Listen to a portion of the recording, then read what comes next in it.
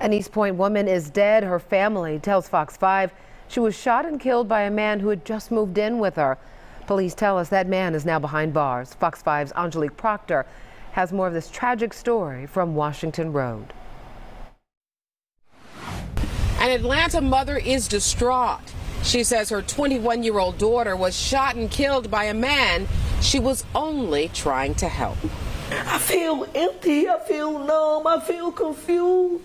Shalika Reed is having a hard time holding it together after the unexpected shooting death of her daughter, Dennishia Smith. East Point police tell us the 21 year old was shot and killed by Shelton Handspike after the two got into an argument at her Lexington apartment on Washington Road Tuesday.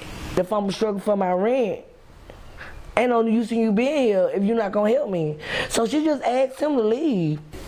Miss Reed says suspect Handspike got angry about being told to move out and grabbed a gun from another woman who was in the apartment.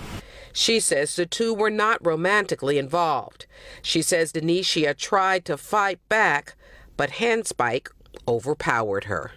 She was looking out for him till he got on his feet. She thought that he was her friend and he killed her.